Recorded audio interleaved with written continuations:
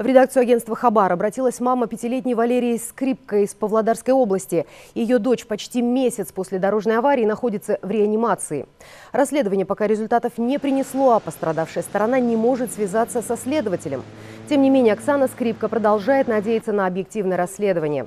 По ее словам, сбивший девочку 30-летний мужчина ни разу не интересовался самочувствием ребенка и сейчас пытается уйти от ответственности.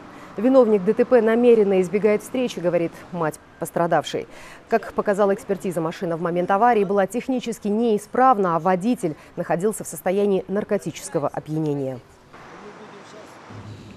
Я ее уже не видела 26 дней, меня к ней не пускают.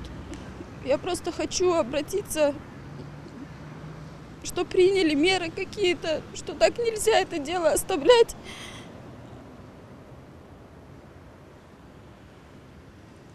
Просто прошу, чтобы мне помогли, чтобы была справедливость, чтобы был закон, чтобы наказали его по справедливости. КАМАЗ сбил пятилетнюю Валерию в рабочем поселке Майкан вечером 21 июня. На этом видео с камер наружного наблюдения видно, как ребенок перебегает дорогу по пешеходному переходу и его сбивает грузовик, мчавшийся на высокой скорости.